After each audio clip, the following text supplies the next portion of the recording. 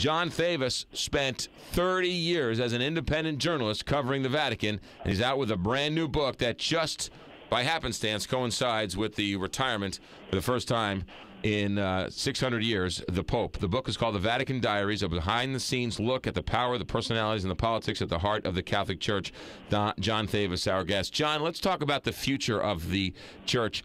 A lot of a lot of uh, non-Catholics don't understand why priests can't get married, don't understand lots of things about the Catholic Church. Do you see the Catholic Church making any giant changes in the next few years?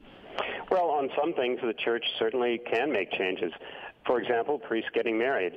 Uh, there are calls from time to time from bishops and even cardinals uh, asking that this priestly celibacy, priestly celibacy rule be reviewed.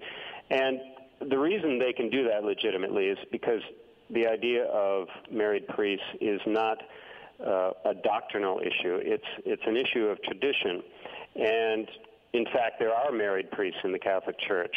They're in the Church's Eastern rites, and uh, there are some priests who came over from the Anglicans who are also married. So exceptions have been made, and there's no doctrinal reason why it couldn't be changed.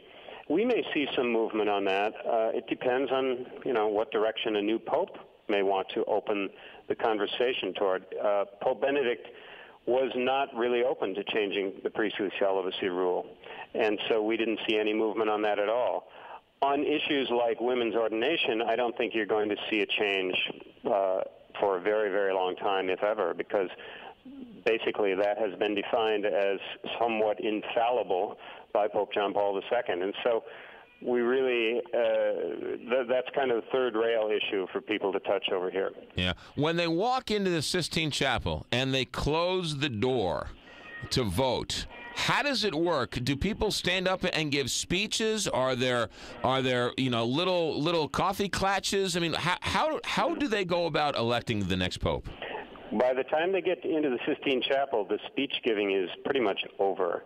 Uh, I, I think they're they're given a little spiritual talk by one of the preachers, but the speech giving and conversation part of the conclave actually occurs before they go into the voting. Now, that's going to begin probably early next week, and it may last a week or even two weeks. Uh, some people say we need a longer time to get to know some of the new faces in the College of Cardinals. And in those conversations, we will have certainly people enunciating their vision of the church, what they think the church's priorities should be. And in private conversations, they're going to talk about who would make a good pope. It's not campaigning in the political sense. It's a much more subtle thing. If someone were to actually campaign for pope, uh, they would face a certain backlash. Do do do do they when when when we read that you know maybe there's going to somebody from Latin America, maybe there's somebody from Africa. Do do they buy into that? Do they hear that? Is in other words, are we hearing that from them or are they hearing that from us? That's a very good question. Up until now, they've been hearing that from us. These cardinals read the newspapers. I remember in 2005. I was talking to a cardinal after the conclave, and I said, "Well, when did you come around to see Cardinal Ratzinger as the front runner, and he said, "Well, I was reading the newspaper before the conclave began." So, you know, these cardinals are not living in a vacuum. They are certainly paying attention to what journalists have to say at this point. Maybe that's a dangerous thing. I don't know. Yeah. Uh, Thomas Dolan, the Cardinal of New York, is from St. Louis. People say that if America were to ever have a pope, he would be the guy. How come there won't be a pope from America? You know, uh, maybe eight years ago I would have gone along with that question, but this time I'm going to say, mm, don't rule that out. Okay? It used to be a taboo subject. Right. America can't run the world and run the church. Well, now I, I think people recognize that cardinals they're American citizens, perhaps, but they don't have a, a, a, super allegiance to American political interests, and they certainly wouldn't they wouldn't be carrying that forward if they were elected pope. Uh, I think geographical loyalties and allegiances matter less than they used to, and therefore the idea of an American coming in is not so unthinkable as it used to be. So you you really think? I mean, is Dolan still a long shot? He's an outsider, but again, there's no front runner, and you know, you you do hear his name along with Cardinal Sean O'Malley's name from Boston. And I think they're considered legitimate contenders for the papacy at this point, even though Cardinal Dolan has only been a cardinal for about a year. Right.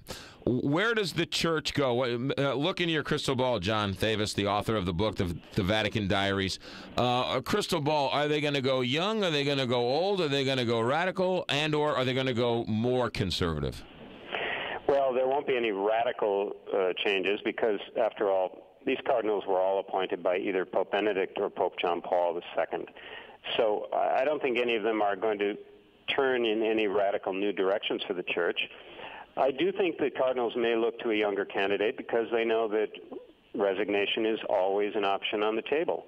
And, you know, a pope doesn't have to resign at age 85 like Benedict. He can resign perhaps at age 75.